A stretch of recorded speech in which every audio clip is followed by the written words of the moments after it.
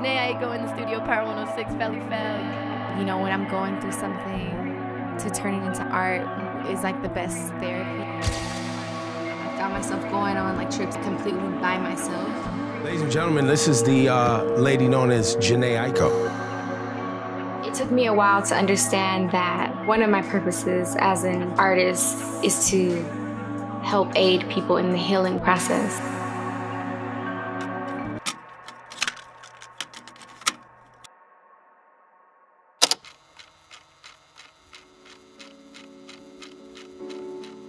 Jhené Aiko Efuru Chilombo was born into the musically inclined Chilambo family on March 16, 1988 in South Los Angeles. As the youngest of five, Jhené looked up to her older sisters and watched closely as they created the R&B girl group Gyrl.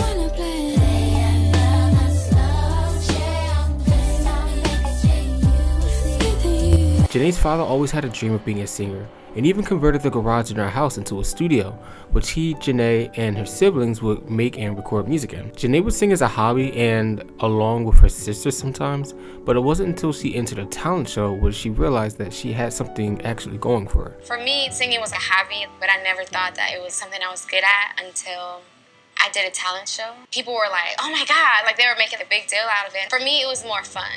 At 13 years old, Aiko signed her first record deal, and a couple years later, she was advancing her musical career by contributing vocals to multiple B2K tracks like Tease and Stuck Like This. Jhené was actually propped up to be the cousin of B2K's Lil Fizz. Even though they weren't related, Sony thought it would be a good marketing tool to attract a larger audience. A lot of people, I guess, thought that Jhené Aiko was your cousin or something like that. Right. That was. Nah, they promoted it like that. When, That's what I'm we saying. were- Like, when that- I that was didn't just come out of nowhere. Right, but we, I've been close with her family since I was like eight years old. Her older brother used to be in the group Melodic. In 2008, while dating R&B singer O'Ryan, Jhené Aiko got pregnant and had her daughter Namiko Love on November 19, 2008. She made me feel fearless, really. Like, I never doubted that something good would come from it. While pregnant with her daughter, Jhené would continue to work on her music and start creating her beloved mixtape, Sell Out, featuring budding artists Vince Staples, Childish Gambino, Kendrick Lamar, and Ab-Soul, all of which went on to have prosperous musical careers. After I had her, I got a job at a vegan cafe and I rented a room at like one of my friend's house. It was so hard. It was so hard. I would like come home and my feet would be like burning, like swell. I would be like, oh my God, like this is crazy.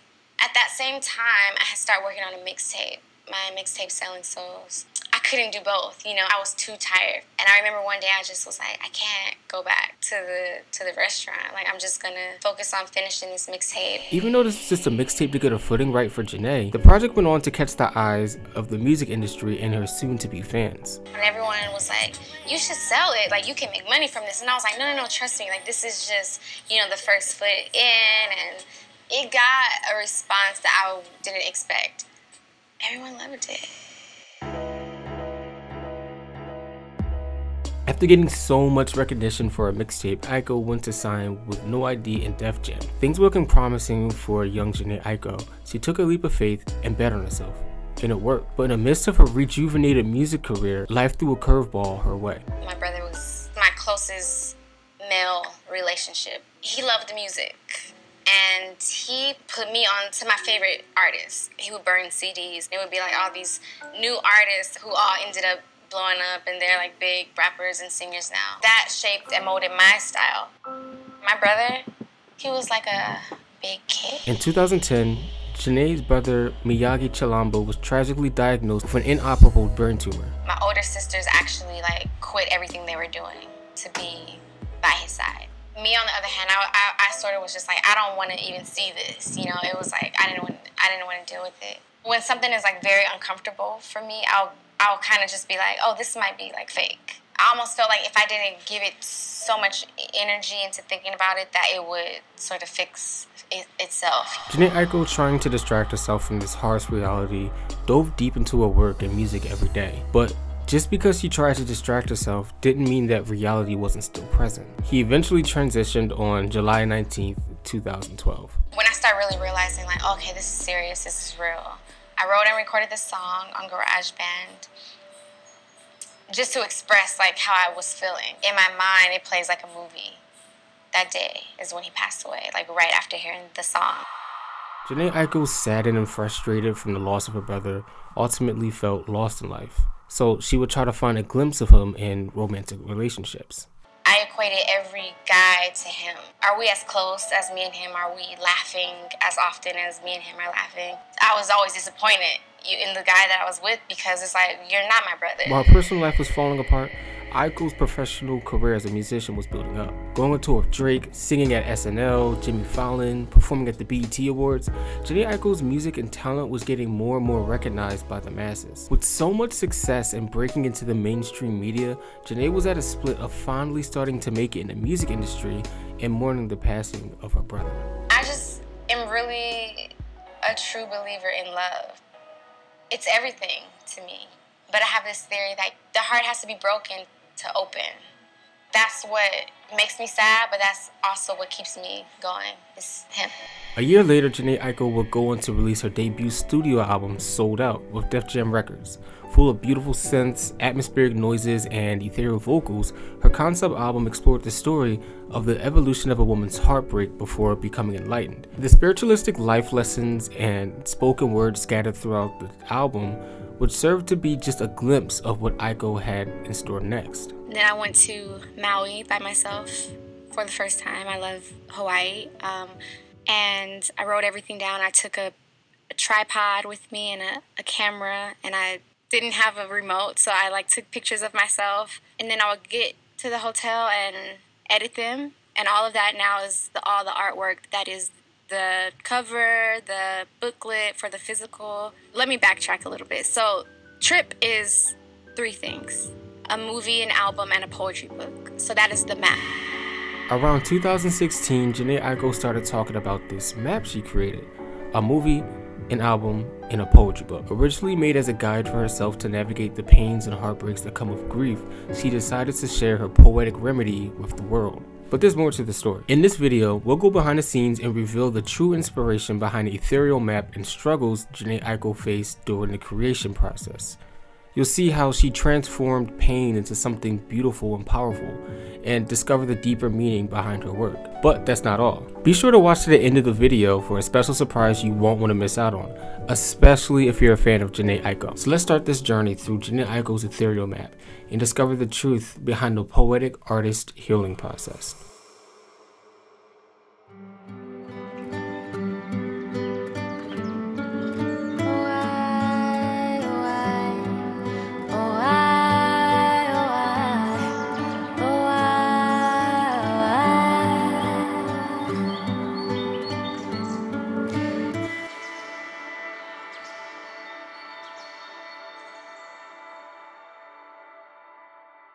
Hey, hope you're enjoying the video so far, and if you are, consider hitting the subscribe button and notification bell so you can know when I upload my next videos. 98% of people who watch my videos actually don't subscribe. That's like hearing a song you love and not adding it to your playlist. Either way, I appreciate all the love and support everybody's sending my way. Back to the video. The first destination on Jhené Aiko's map is the movie. Aiko's movie Trip, directed by Jhené Aiko herself, follows a girl named Penny on a journey throughout her mind as she's mourning the loss of her brother and under the influence of psychedelics. The movie opens up and we find our main character Penny laying down next to pill bottles and drugs, reminiscing over a man who's passed. As a side note, Penny is the nickname Jhené Aiko's grandfather gave her when she was a child. This is the version of herself she describes as her full self and her most pure self. In an interview with the Los Angeles Times, Eichel stated, When I was born, my grampy gave me the nickname Penny. Penny is my purest and most authentic form. Since 2012, I've been trying to get back to her, and through the process of making music, I've been rediscovering her. We then see Penny writing poetry on the rocks when a man walks up to her and tries to spark up a conversation. After getting to know each other for a while, the man we now know as Dante sporadically asks Penny if she would want to go on a road trip with him. Yeah, I have a job, for one. Yeah, to write poetry, and you can do that anywhere. I promise, if you come with me, your only job be to have fun. We then cut to Penny and Dante driving up the coast together, laughing, drinking, and getting close with one another. For a while, Dante has gotten Penny out of her head.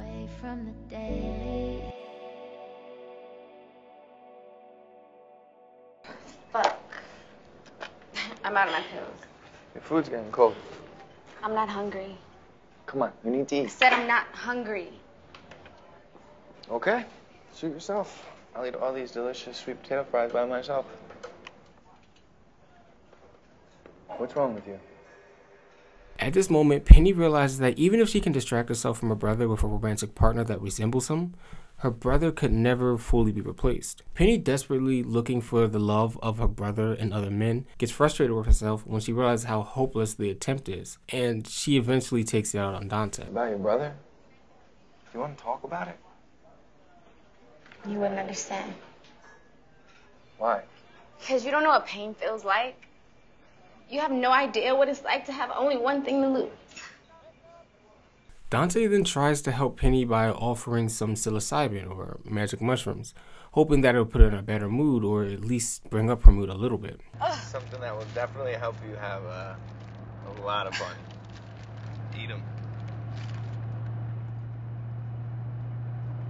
Oh my god. Yummy, right? Yuck. Yeah, let me get A few hours pass, and Penny is starting to feel the effects of the psychedelic trip granted from the mushrooms. Tripping off mushrooms, Penny lays down and has contact with her brother.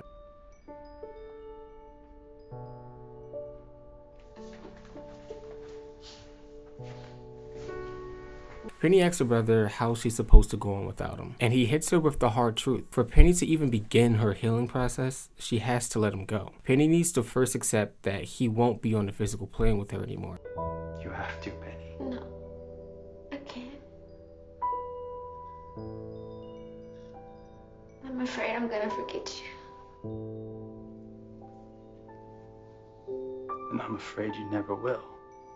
At this point in the movie, we realize that both Penny and her brother are pulling on opposite sides of how she's to cope, like some game of spiritual tug of war. Penny, afraid that she'll forget details about her brother, big and small, tries to keep him alive any way she can, even if it's a detriment to the health of those who genuinely care about her. Her brother, on the other hand, wants Penny to live her life to the fullest, even without him, even if it means she'll have to forget about him, and he fears that she never will. Don't go, please.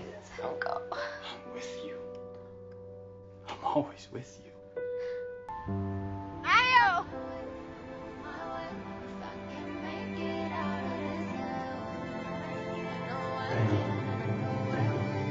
I'm still with you. I'm still with you. Her brother leaves, and Penny is reminded by her brother that he'll always be with her and it's time for her to go home. We then see Penny waking up on the same couch from the first scene, surrounded by pills and drugs. This time around, she reaches over the drugs and grabs a poetry book instead, symbolizing Penny going inward and facing her feelings head on rather than running away.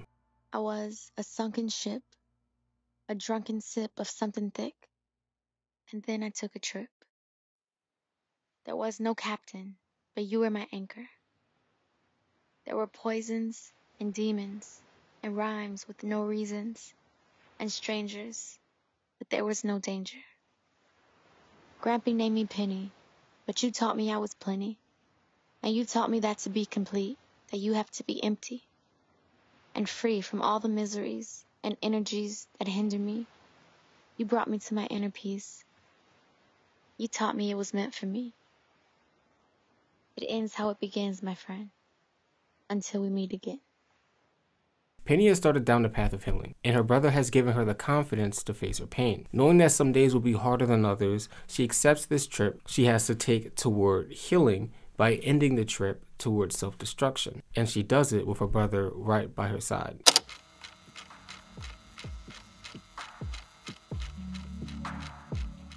The second destination we find ourselves at on Aiko's map is the album. Released in 2017, the psychedelic project features a blended mix of R&B, neo soul, and hip hop. Aiko took her first road trip by herself to Big Sur in California and recorded music for herself just to get her mind off of things. In an interview with NPR, Aiko stated, "As I was driving up there, I was listening to instrumental music and classic music and singing it over loud and talking to myself.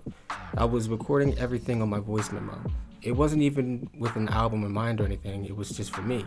I started doing that often. The emotionally vulnerable album explores themes of loss, love, healing, and self-discovery, and has notable features such as Big Sean, Brandy, and Swae Lee on some of her tracks. Personally, I've always looked at and experienced this album in three acts: reflection, realization, and transcendence. The album opens up with the song LSD, and we're greeted with gentle wind chimes and atmospheric noises. We then hear Aiko speaking to her brother. How you like it up there? What's your view from there? I bet it's so cool to jet across the moon. That's how I picture you in my head. Jhené explains to him that she's feeling stuck in a state of low energy and frequency, walking around half dead, but she still has faith. Can't get out of my bed ever since you had left. Don't got nothing left, walking around half dead. Still have faith, have faith. In the NPR interview, Aiko says, I formed a habit of escaping and going on these trips. I still do it and I find it really helps me. Psychedelics aided in that. While recording new songs for this project, I revisited the notebook that I had been keeping. The song LSD pretty much sets you up for the trip. And just like that, you along with Aiko take the psychedelic trip that she describes in the last lines of her song. The other night I took a tiny piece of paper and put it under my tongue.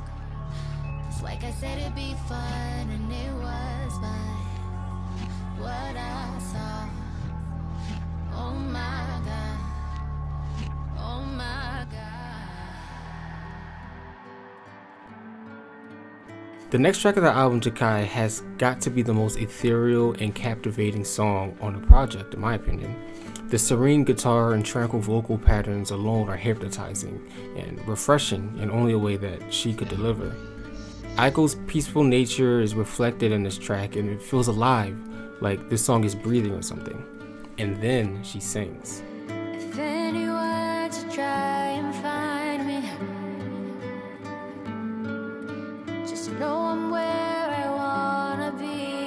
Aiko is giving a message to ease the mind of those who may miss her as she embarks on her journey. She sings about her clean room is a sign that she's safe and there's no need to worry.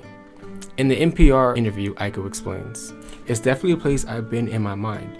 Hmm, if I were to decide to do it like that, how would I do it? So we started with a guitar, and I wanted to write a song about that place and go there in my mind. I know that sounds morbid, but it was true. It was a fantasy of me going there. It's not super obvious in the song, but I say how my feet keep touching the ground, and it's not working. This place that Aiko was talking about has many names. Some call it Jukai, some call it the Sea of Trees, but the most popular name is the Suicide Forest. I- I do want to visit the Suicide Forest. I know this, this sounds very Oh morbid. man, she gonna come out with a whole new album. Please. But I, I, I watched this Vice documentary. Mhm. Yes. So the track number two on my album, Trip, is called Jukai, which Mhm. was one of the things that they call the Suicide Forest. And I'm saying like the Sea of Trees, and it's basically about a girl who makes it out of the Suicide Forest alive. Wow. And that sort of starts the story. Throughout the song, Aiko describes how the nature of the ego works, what or who hell really is, and how she's attempted to reach heaven, but her feet never leave the ground. She eventually ends the song's lyrics saying she found a way out.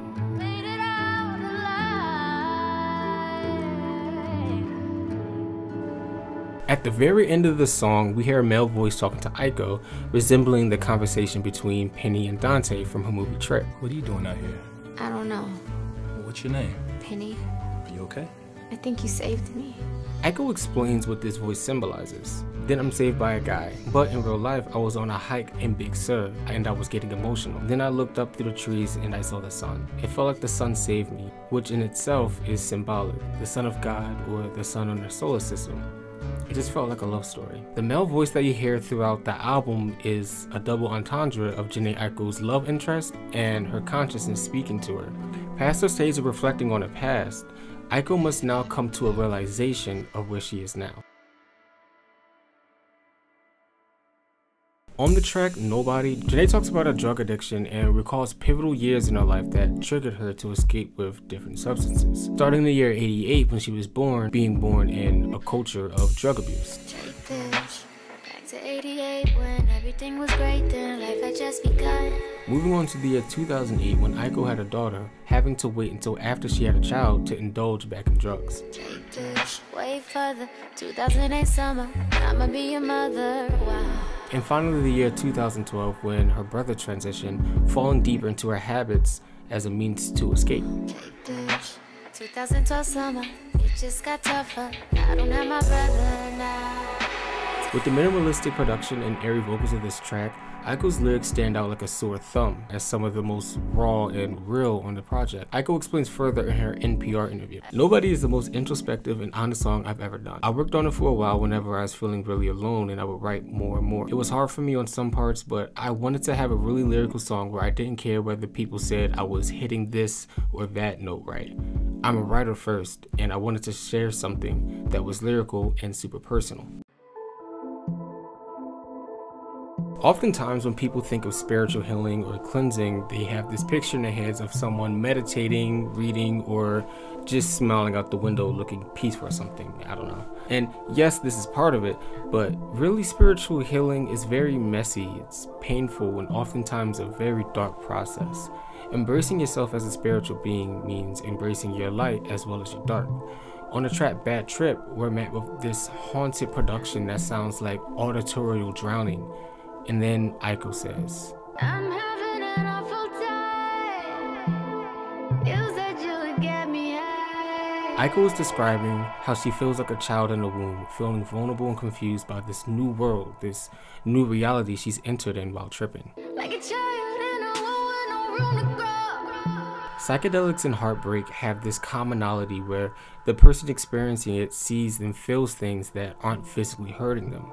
Aiko is realizing the agonizing pain and thoughts she's been pushing away and escaping from with these drugs or people. This causes her to feel like she's physically hurting.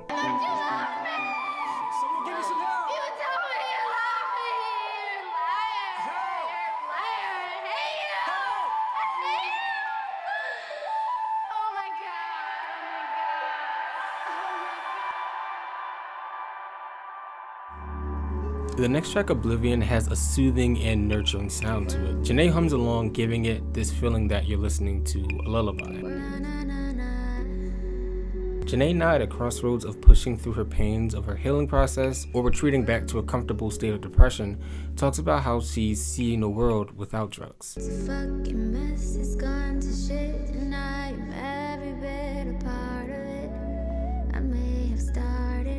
Her world as she knew it has crumbled and she tries to put her pieces back together. Try to find a brighter side, an elevated higher side is out of sight. Jhené then romanticizes being in a state of oblivion, unaware and unconscious of what's happening around her, essentially living in the crossroads of this decision she has to make for her spiritual health. In an attempt to get some clarity of what to do, she calls out for her brother. Dear brother, am I still asleep? Last night I saw you, and you told me there was coin laundry on the moon. I met a boy. He wasn't right for me. But now that I'm alone, I can hear the spirits talking. But the clarity she asks for comes by way of Dr. Chill, or Jhené Aiko's father, Dr. Karamo Chilombo. Jhené Aiko speaks about her dad on the song and she states, After Oblivion, my dad's voice comes in. He's a doctor and he's super smart. I didn't really have a close relationship with him as a child because he and my mom were separated. But as I got older, we connected on a spiritual level. He's like 73 or 74. In the studio, it turned into this very spiritual jam session that was like 90 minutes long. From the metaphysical to the physical. From the inside out. Let there be no doubt.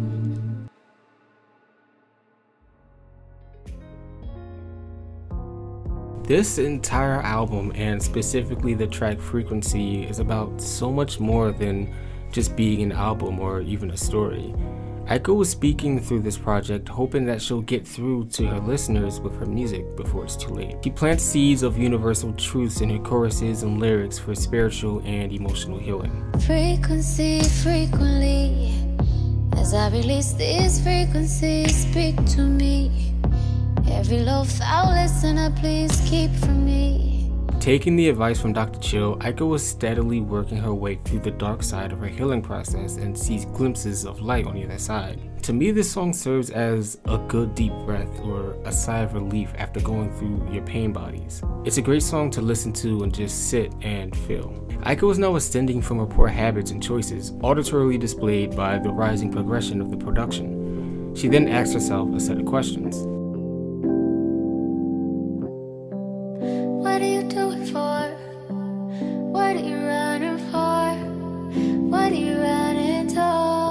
Jhené explains these questions and says, This is how I meditate. I ask myself questions and meditate on those questions. What do you do it for? What are you running toward? What is the path you're going to choose? In a meditative way, almost like chanting a mantra, Aiko repeats the lines.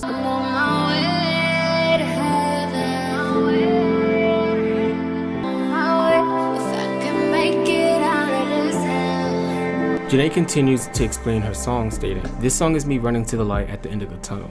I feel like I'm on the right path now and I'm on my way. I know I still have things to get over and things that are going to come my way, but I feel like I'm headed in the right direction.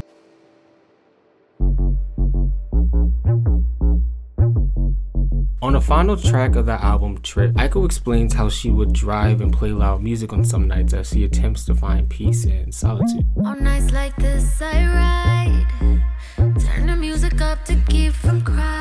She describes how she learned how to tame her dark side, and that's half the battle. Halfway home to yourself, your pure self. Please don't let the darkness keep me low halfway to the home base, yeah.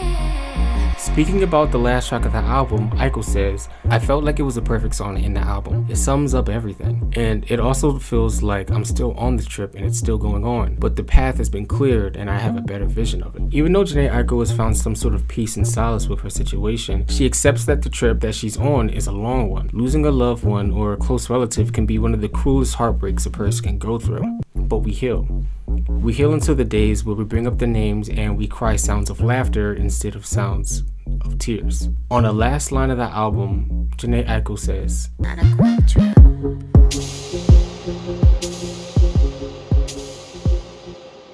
Before we get into the last destination of Aiko's map, I want to let you guys know about my giveaway I'm doing. I'm giving away a copy of Jhené Aiko's poetry book, Two Fish, to one lucky winner. To enter the giveaway, all you have to do is comment two fish down below in the comment section and share this video either on Twitter or your Instagram story and at me. And you're done. Uh, my social media handles can be found in the description of this video and the winner will be chosen on February 10th. It's going to be announced both on my Twitter and my Instagram. So good luck. Back to the video. Final destination we find ourselves at Engineer Echo's map to healing is her poetry book. Two Fish, which consists of a collection of intimate poems and a few short stories written from her adolescent years all the way to her adulthood. In a page called Random Notes, Aiko says, Life is just a song. Learn the words and sing along. Give until you get along. Right the wrongs, right where you are. Right where you are. By examining your own feelings and experiences, you as an individual can start to gain a deeper understanding of yourself and your emotional states. This all leads to emotional well being. The book also explores themes of spirituality and the importance of connecting with a higher power or some sense of purpose. In one of my favorite poems from the book titled 38 Fish, Jhené elegantly says, In the middle of somewhere on the edge of rejection, I took myself back and I started accepting that life is just moment to moment to moment. There's no use in dwelling, you cannot control it, or hold it, or pause it, or call it your own. There's no destination. You're already home. With every tool in Aiko's map, she speaks on this idea that we often go on trips to find ourselves, when in reality, we already possess everything we need within us. The journey to self discovery can be painful, filled with rejection and uncertainty, but it's through accepting and embracing these struggles that we can really begin to understand ourselves and our place in this vast universe. The final lines of the poem in 38 Fish remind us that there's no ultimate destination, as we're already home within ourselves. Our trips, in a sense, are a way of coming back to ourselves, of rediscovering the love and beauty we had all along. Unfortunately, Jhené Aiko had to figure out these truths the hard way, but with the grace she gave the world, a map. A map that takes you on the journey back to yourself.